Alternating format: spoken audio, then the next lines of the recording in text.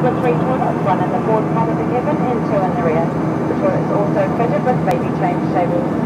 Family ladies and gentlemen, we just invite you to sit back, relax, enjoy this three hour and 40 minute flight with us through Rarotonga. Thank.